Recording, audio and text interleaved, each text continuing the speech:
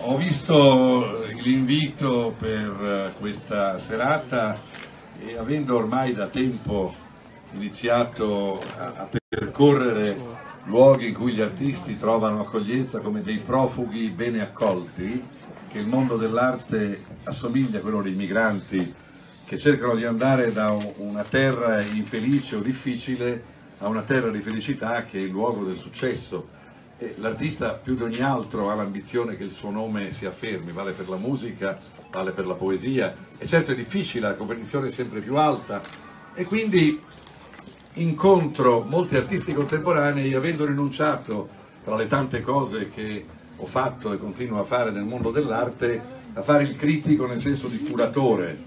La figura del curatore che richiama molto gli ospedali, ci vuole qualcuno che va curato, eh, il curato è anche quello che si occupa delle anime, il prete, è una figura che non è mai piaciuta, però il curatore è uno che si fa i fatti suoi utilizzando qualche artista che spinge sul mercato, quindi poi a un certo punto la grande categoria dello storico dell'arte a cui io appartengo, che riguarda la storia, nei maestri che io ho avuto arrivava fino all'arte contemporanea, quindi un grande critico vedeva Mantegna, Bellini, Giorgione e poi vedeva Morandi, vedeva De Pisis e li vedeva critici d'arte, storico dell'arte, critico d'arte. Poi sono nati i curatori delle mostre e in parte quelli che si chiamano critici militanti, come dei soldati che combattono per non si sa quale obiettivo o guerra, e poi recentemente una figura particolarmente ambigua, curatore indipendente, che è una figura di un giovane che non sapendo da chi dipende, non avendo lavoro,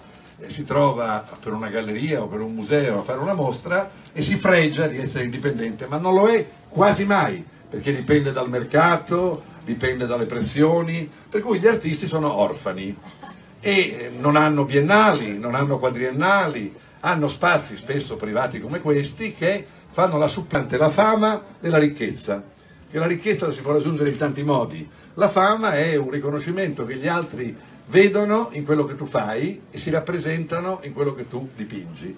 Per cui per voi sono tempi difficili, ma sono anche tempi in cui tante più persone ambiscono a muoversi nell'arte, come se fosse una necessità, un'urgenza, una ragione interiore. Quindi un diritto, ecco un diritto, dico spesso che i diritti della Costituzione sono il diritto al lavoro, il diritto alla salute, il diritto alla scuola, il diritto alla libertà di parola, adesso bisogna aggiungere negli ultimi 50 anni il diritto alla creatività. Essere creativi ti fa stare meglio, crea un rapporto con gli altri e in alcuni casi crea anche una grande importanza e notorietà perché tu rappresenti quello che gli altri si riconoscono in te. Allora, detto questo in premessa, quando ho ricevuto questo invito un po' diverso dal solito, ho visto una bella galleria, ho visto International Vision, ho detto, beh, chissà chi l'ha fatto, è più importante della Biennale. Poi ho letto Dem e ho cominciato che è il Partito Democratico.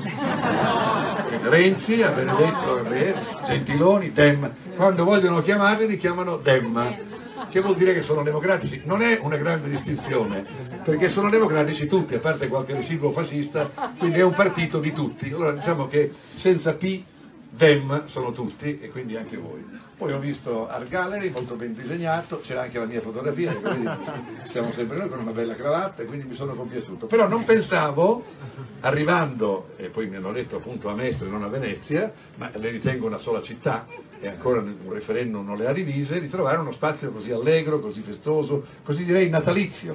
E vedendo tante persone qui ho pensato che eravamo qua per farci gli auguri di Natale quindi che da un lato la mostra, ma da un lato la data, la soddisfazione, l'affetto che manifestate a me. Io sono contento perché ho vissuto anni di scontri in mille polemiche, oggi mi pare che sono meno le polemiche, io comunque non rinuncio, eh, non è che se capita sono pronto. L'altra sera ho rinunciato ad andare in televisione con Asi Argento, che sto invecchiando, lasciamo perdere, poi mi tocca di litigare per forza, siamo qua nei giorni di Natale, però in linea generale io sono, nonostante quello che qualcuno può pensare, un uomo eh, mite e sereno e socievole. La mia natura è questa.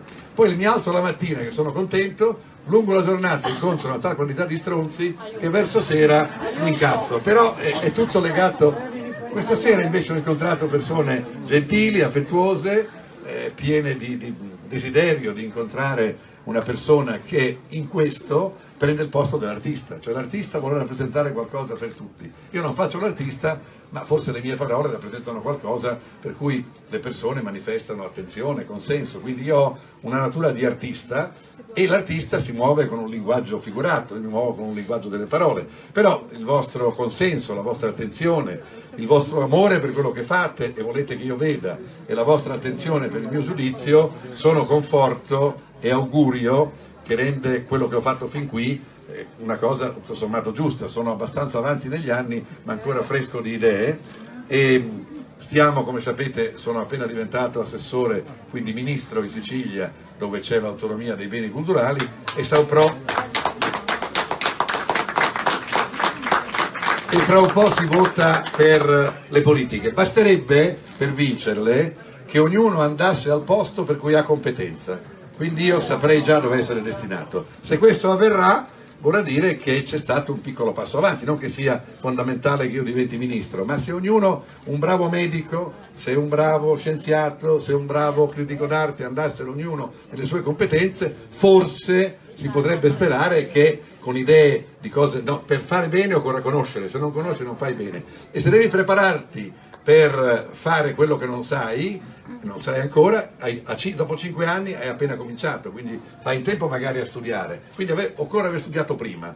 In questo io credo che l'idea di un rinascimento che io ho evocato sul piano anche politico sia un modo per inserire nell'attività politica un'idea per cui la cultura in Italia è prima di tutto e quella cultura produce bellezza e l'ha già prodotta e produce benessere e può produrlo. Venezia ne è un esempio, si può fare meglio ovviamente.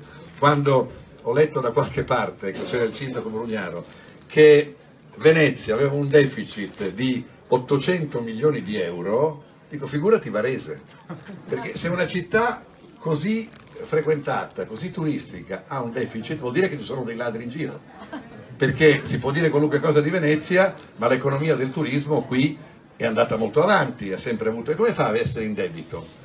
Certo, e allora venne fuori l'arte e, e in maniera provocatoria Brugnaro disse vendiamo un Klimt, alcuni si ribellarono, in fondo era una soluzione indolore, Klimt non è un autore veneziano, è arrivato con la Biennale, era una provocazione però, ed era come dire l'arte può salvare una città, è un paradosso perché avete visto, parlando di cose che riguardano il vostro lavoro, che un dipinto non di un pittore moderno, ma di un pittore classico come Leonardo ha fatto 450 milioni di dollari. Il primo pensiero è che sono molti, il secondo pensiero è che sono la metà di una squadra di calcio, il terzo pensiero è che sono, sono come tre calciatori, il quarto pensiero è che l'Italia non ha concorso per comprarlo.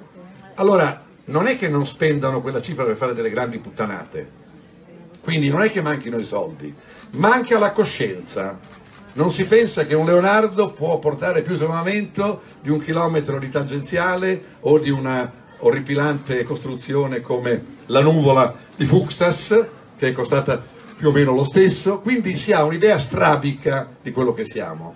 Un Leonardo in più poteva anche tutto sommato non essere una spesa, poteva essere un investimento. Ne ho parlato con Berlusconi, che sai con quello che devo dare a Veronica non c'ho più una... Quindi, però se sospendi un po' di assegni a Veronica ti, ti comprano Leonardo. Ma questo è per dire che il fatto che non ci abbiano neanche pensato, ci aveva pensato un russo, come oggi qui siamo, e poi quel russo l'abbia venduto Emira- agli Emirati Arabi o a Abu Dhabi, e fa pensare. Cioè, vuol dire che Abu Dhabi ha capito che Leonardo è importante e noi che l'abbiamo avuto ce lo siamo dimenticati. C'è qualcosa che non funziona. Cioè, dimenticare Leonardo vuol dire non valutare che quella è una direzione in cui si può avere sviluppo, potenza, benessere e va però pensato, occorre una strategia. Ecco perché ho fatto questa riflessione dicendo che sostanzialmente noi abbiamo una concezione della nostra nazione che non è ancora abbastanza focalizzata sull'importanza del patrimonio artistico che è pochissimo conosciuto. Vero che voi vi muovete nell'arte, ma l'altro giorno facevo un convegno con un gruppo della Mercedes e ho fatto vedere un dipinto di Bellini, pittore veneziano. Ho detto, lo conoscete? No, nessuno. Siete mai stati a Rimini? Sì, tutti. Quel quadro sta a Rimini. Allora vuol dire che nessuno ha alzato il culo per andare a vederlo. Non sarà grave, però fa pensare che uno va a Rimini per una ragione e non ha eh, la curiosità di vedere un'opera. Certo Bellini non è, non è, Leonardo come notorietà, ma il quadro è bellissimo. Se qualcuno di voi va a Rimini non lo perde, una pietà bellissima, negli angioletti meravigliosi. Mi divertiva pensare che tutti erano stati a Rimini, tutti la conoscevano e nessuno, non uno, conosceva quel quadro. Vuol dire ignoranza, ma non che si, oh, tutti sono ignoranti, vuol dire ignoranza di qualcosa che è peculiare. Se, se l'Italia è conosciuta nel mondo è per la bellezza che ha espresso e quella bellezza deve essere dentro di noi e dobbiamo essere in grado sia di conoscerla sia di produrla. Quindi voi fate bellezza e questa bellezza deve essere considerata per quanto vale, non sottovalutata. Insomma, considerazioni di ordine generale che fanno capire che la politica può anche essere una cosa non brutta se è giocata con intelligenza e con saggezza, perché un tempo prima che arrivassero i vari Di Maio e gli altri, la Boschi e delle figure che fanno un po' ridere, c'erano Benedetto Croce, Piero Gobetti, Antonio Gramsci, cioè la politica richiedeva delle idee, un'idea produce una conseguenza, se non hai un'idea puoi anche andare al potere ma non fai niente, perché? Perché ti mancano le idee. Ecco, vi ho fatto questo ragionamento per dire che io confido nel futuro in cui fra un po' saremo tutti in campagna elettorale, mi auguro non tanto di essere ministro, ma di poter avere una responsabilità che corrisponde a quello che io ho coltivato e ho conosciuto e che questo tocchi per tutti.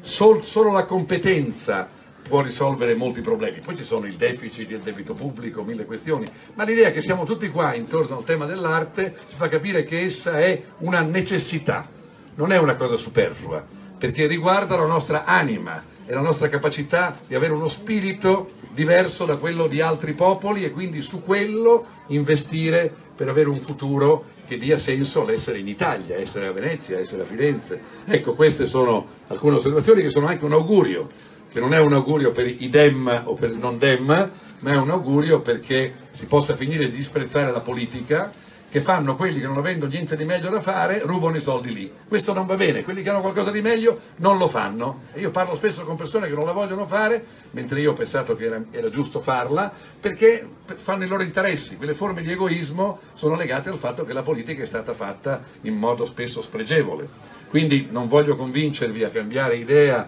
sopra quello che pensate della politica, ma che una persona intelligente possa fare attività politica è sicuramente una garanzia che riguarda, come dici? Sto parlando di arte ma tu non lo capisci perché non capisci un cazzo. Stavo parlando di arte. Ho parlato di arte, ti posso anche parlare di economia dell'arte. Un quadro di Leonardo costa 80 euro. La tela costa 40 euro, la cornice costa 50 euro, il colore 20, 100 euro, però lo vendono a 450 milioni di euro. E ti è chiaro o no? Sto parlando di arte, sto parlando di investimento, parlo di politica per chi usa il cervello non come te che non ce l'hai, altrimenti non facevi questa osservazione di merda. Parlavo di arte nello Stato, ti è chiaro o no? Parla di arte, cassata da stronzi. Parlo di arte cercando di non parlare di arte. Che bello questo rosso, che bello questo verde. Quando è nato Bellini? 1430, non lo sapevi, posso parlarti di arte fino a schiacciarti, ma non vale la pena di parlare di arte in modo nozionistico, devi parlare del significato dell'arte e di capire che è il miglior investimento possibile per gli uomini e per la loro anima.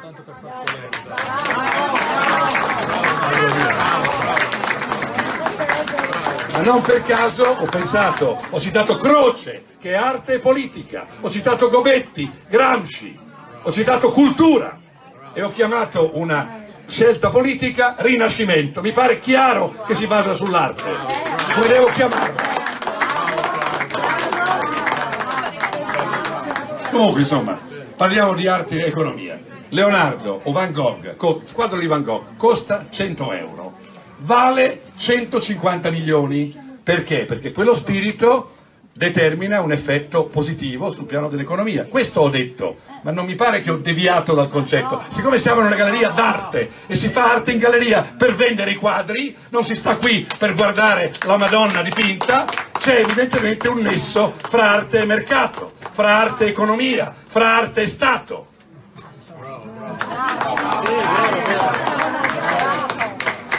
Vabbè, detto questo, votate 5 Stelle. non sanno cosa sia l'arte.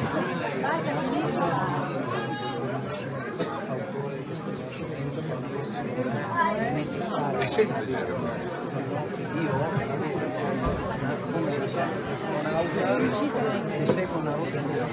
Ma sta anche riprendendo.